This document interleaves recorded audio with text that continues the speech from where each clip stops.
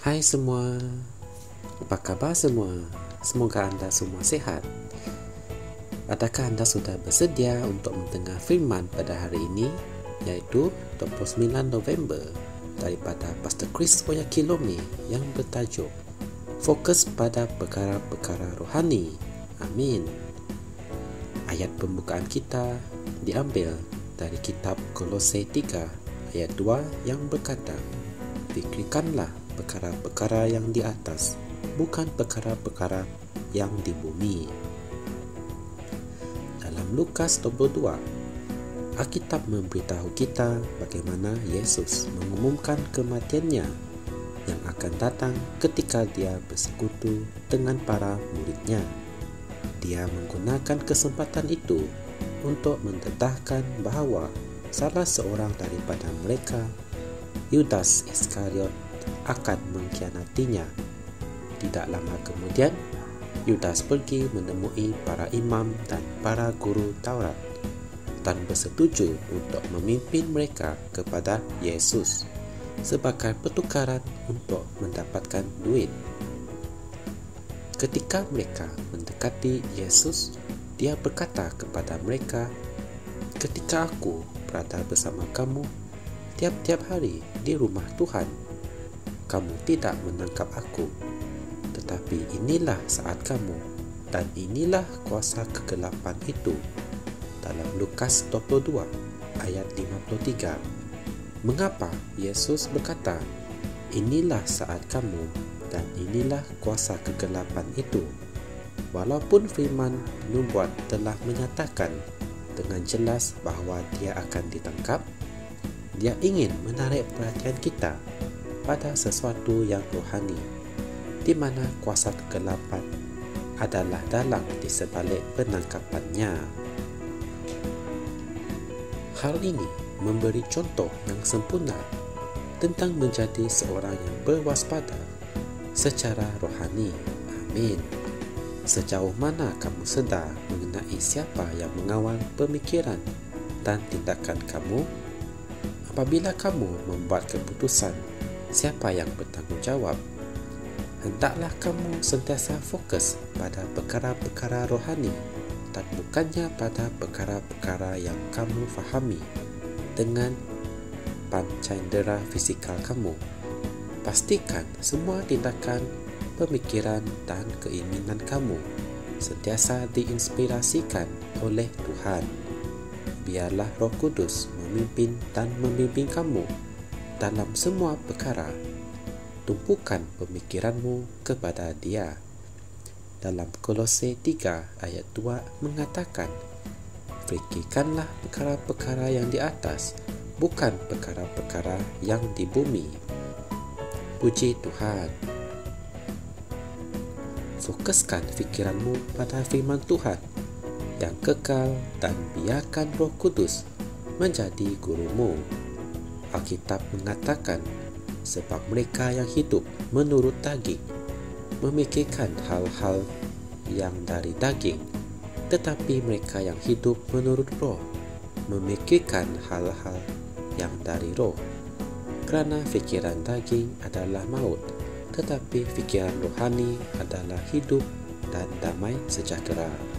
Dalam Roma 8 ayat 5 hingga 6 Haleluya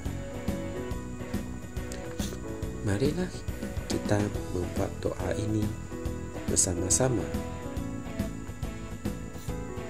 Ya Bapa, dengan kuasa rohmu, aku melatih fikiranku untuk fokus pada firman yang rohani, pada perkara-perkara yang benar, adil, suci, yang manis, yang menyenangkan, baik dan patut dipuji aku berfikiran rohani di mana aku hanya membenarkan pemikiran yang dibimbing oleh firman bagi pujian dan kemuliaan namamu. Amin. Sebagai renungan tambahan, anda boleh merujuk kitab Roma 8 ayat 5 hingga 6, 2 Korintus 4 ayat 17 hingga 18, Filipi 3 ayat 20. Haleluya! Anda boleh mengetahui lebih lanjut mengenai firman ini dengan menekan butang like dan subscribe Rhapsody Reality Malaysia. Semoga anda mendapat manfaat daripada firman ini dan semoga kita berjumpa lagi dalam segmen yang seterusnya. Semoga Tuhan memberkati anda semua. Amin. Kami percaya saudara-saudari semua telah diberkati dengan perkongsian firman dari Rhapsody Reality. Bagi sesiapa yang ingin menjadikan Yesus Kristus sebagai Tuhan dalam kehidupanmu, kamu boleh mengucapkan doa ini bersama dengan saya. Ya Tuhan Allah, aku mempercayai Yesus Kristus anak Allah yang hidup dengan sepenuh hatiku. Aku percaya dia telah mati untukku dan Allah telah membangkitkan dia dari kematian. Aku percaya dia hidup hari ini. Aku mengaku dengan mulutku bahawa Yesus Kristus adalah Tuhan dalam hidupku mulai dari hari ini. Melalui dia dan di dalam namanya, aku mempunyai kehidupan yang kekal. Aku telah dilahirkan semula. Terima kasih Allah kerana menyelamatkan jiwaku. Aku sekarang adalah anak Allah. Haleluya. Tanya sekarang kamu telah menjadi anak Allah.